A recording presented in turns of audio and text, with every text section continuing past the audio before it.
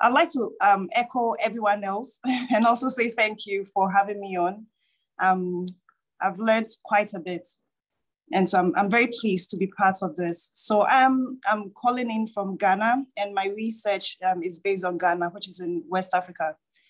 And I collected some data on the blockchain um, ecosystem here in Ghana. So I wanted to understand the diffusion and adoption um, trajectory um, to be able to understand the aspects of the innovation that people were most interested in. So for instance, who are the participants in the space? Was their socioeconomic standing? Um, was the gender dynamics and the sectors in which blockchain innovations are mostly applied um, in this context? And one of the most interesting findings I made was the very principal role that WhatsApp has in the blockchain diffusion patterns here. So um, just to give a background context, upwards of 85% of internet users in Ghana use WhatsApp. Um, and that's compared to about 70% for Facebook and about 69% for YouTube.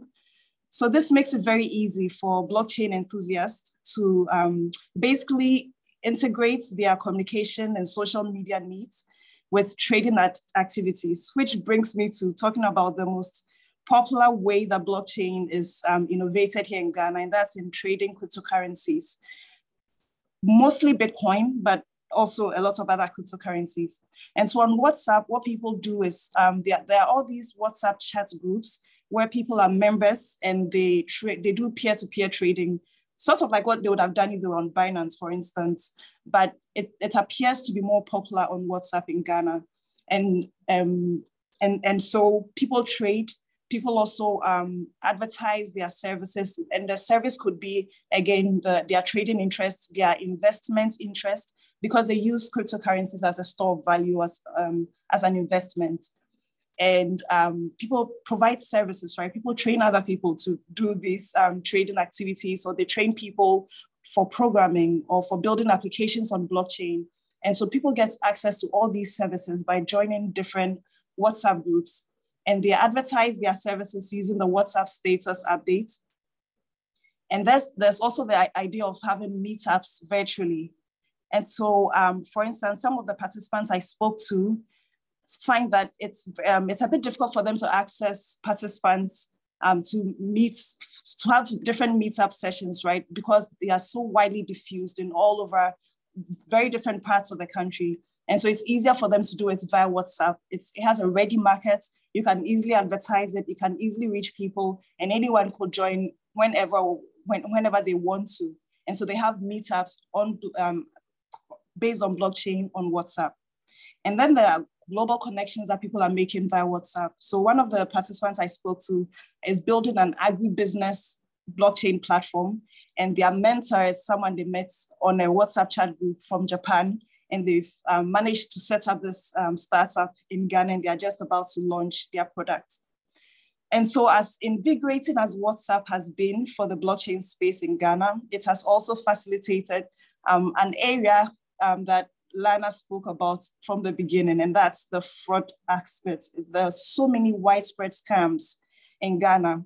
And that's because WhatsApp doesn't necessarily have like an integrated system to check um, payments or to even facilitate payments, right, between people when they are exchanging um, cryptocurrencies and all that. So mostly what someone would do is if someone were to approach them in one of the chat groups and mention that they would want to um, buy whatever coin they are selling, they might have to meet in person. So it becomes a cash transaction, or they might have to have like some form of digital transfer, right? Using a mobile money platform or some other form of digital transfer.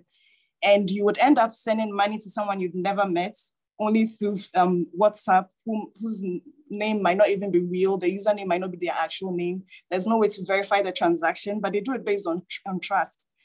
And so for me, it was so fundamentally um, interesting that WhatsApp is so prominent in the exchange of value for blockchain, um, specifically with cryptocurrency trading, of course, considering how widespread the scams are.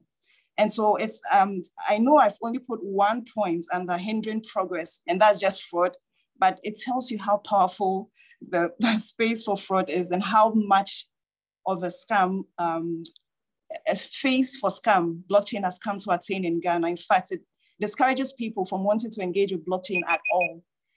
And oh goodness, look, I set myself a timer. So my last point is that um, I've spoken to so many different people who have said, who have mentioned that because blockchain and Bitcoin or blockchain and cryptocurrency are used quite synonymously, right? So people might not understand the entirety of what blockchain can offer. But as soon as you mention the word blockchain to most people on the streets, the first thing they go is, oh, yes, you're a fraud girl or you're a scammer, right? And that's how um, pervasive the idea of blockchain and scams have gotten to be in Ghana. I'd love to chat further with anyone who is interested in this. Thank you.